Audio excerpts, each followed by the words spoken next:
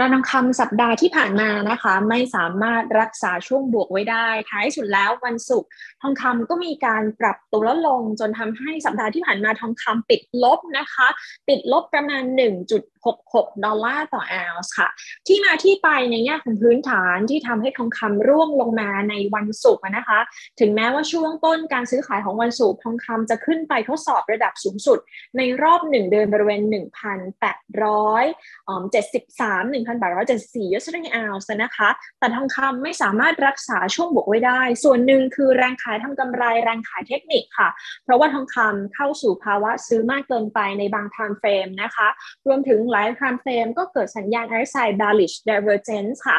เพราะฉะนั้นเนี่ยปัจจัยแรกที่กดดันทองในช่วงวันศุกร์จะเป็นแรงขายทำกำไร แล้วก็แรงขายทางเทคนิคนะคะตะคีหลักที่ทำให้ทองคำปรับตัวลดลงแรงจะมาจาก 2 เรื่องนะคะ เรื่องแรกจะเป็นการเปิดเผยตัวเลขการจ้างงานนอกภาคการเกษตรหรือว่า non farm employment change ประจำเดือนพฤษภาคมที่ออกมาดีเกินคาดค่ะ คือมีการจ้างงานเพิ่มขึ้นถึง 3 9 0 0 0 0ตำแหน่งสูงกว่าที่นักวิเคราะห์คาดการไว้ว่าน่าจะเพิ่มขึ้น 3 2 5 0 0 0ตำแหน่งนะคะ ตัวเลขนี้สะท้อนให้เห็นชัดเจนว่าตลาดแรงงานสหรัฐ ยังคงตึงตัว ยังคงแข็งแกร่งนะคะ มากเพียงพอที่จะสนับสนุนให้ธนาคารกลางสหรัฐ หรือว่าเฟดเดินหน้าขึ้นดอกเบี้ยอย่างแข็งกร้าวเพื่อสกัดเงินเฟ้อค่ะ นี่คือประเด็นแรกนะคะประเด็นที่ 2 เป็นถ้อยแถลงในเชิง hawkish ของเจ้าหน้าที่เฟดท่านหนึ่งค่ะ ท่านที่ว่านี้คือคุณลอเรตต้าเมสเตอร์ประธานเฟดคลิฟแลนด์นะคะ ที่ออกมาให้สัมภาษณ์กับ CNBC ค่ะว่า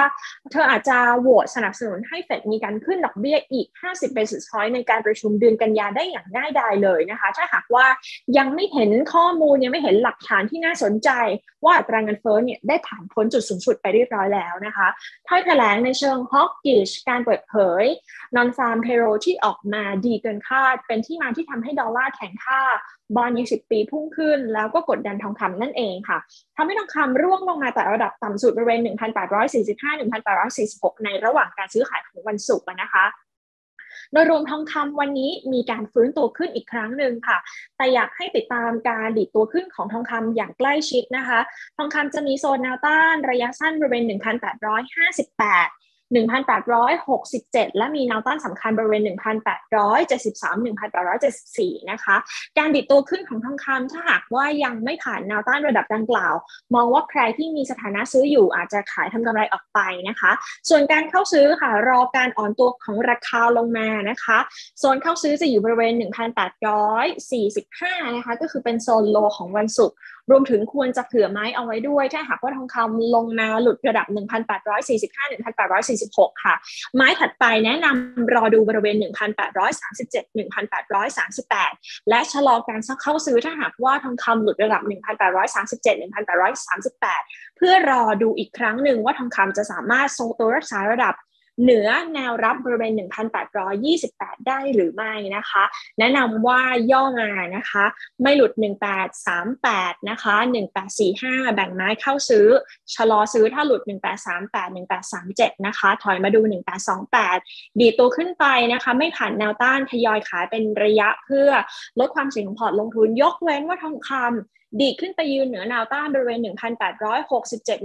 1,873 ได้อย่างแข็งแกร่ง ตรงนั้นค่ะจะถือว่าเป็นจุดที่ทำให้มุมมองเชิงลบของทองคำลดลง และทองคำจะมีโอกาสปรับตัวขึ้นต่อนะคะสำหรับวันนี้ค่ะตัวเลขเศรษฐกิจสหรัฐ จะไม่มีกำหนดการเปิดเผยนะคะ แล้วก็สัปดาห์นี้ค่ะ ตัวเลขสำคัญสำคัญจะกระตุก จะจะกระจุกอยู่ในช่วงวันพฤหัสวันศุกร์นะคะ อันที่เช่น jobless claim ในวันพฤหัสแล้วก็วันศุกร์จะมีการเปิดเผยดัชนีราคาผู้บริโภคหรือตัว CPI นะคะ ไฮไลท์อีกหนึ่งจุดค่ะแนะนำติดตามการประชุมธนาคารกลางอ๋อสองแห่งนะคะ แห่งแรกจะเกิดขึ้นในวันพุธก็คือจะเป็นการประชุมคณะกรรมการนโยบายการเงินหรือว่ากรงงของไทยนะคะ ส่วนวันพฤหัสจะมีการเปิดเผยรายงานการออกตัว การประชุมธนาคารกลางยุโรปหรือว่า ECB รวมถึงจะมีถ้อยแถลงของคุณคริสเซนลากาดนะคะ เชื่อได้ว่าการเคลื่อนไหวของทองคำในช่วงวันพุธพฤหัสศุกร์น่าจะมีการเคลื่อนไหวที่ผันผวนได้ค่ะ โดยแนะนำติดตามเรื่องของตัวเลขเศรษฐกิจสหรัฐนะคะ CPI ในวันศุกร์การประชุมกนงในวันพุธนะคะ และวันพฤหัสจะมีการประชุม ECB ค่ะ ก่อนจะลากันไปนะคะ ขอฝากโปรโมชั่นของ YLG Futures ค่ะ ตอนนี้เรามีโปรโมชั่นลดค่าคอมมิชชั่น 80%ทุก Product ในตลาด TFEX นะคะ รวมถึงใครสนใจเทรดในสัญญา Futures ต่างประเทศก็สามารถที่จะมาเปิดพอร์ตลงทุนกับ YLG Futures ได้ เพราะว่าเราร่วมมือกับ CME Group ตลาดอนุพันธ์ที่ใหญ่สุดในโลกค่ะ เพิ่มทางเลือกให้กับนักลงทุนไทยไปเทรดสัญญา Futures ต่างประเทศค่ะ ก่อนจากกันไป อย่าลืมกดติดตาม กดไลค์ กดแชร์ และกดกระดิ่ง เพื่อรับข่าวสารจาก Money Chat ได้ทุกช่องทางออนไลน์นะคะ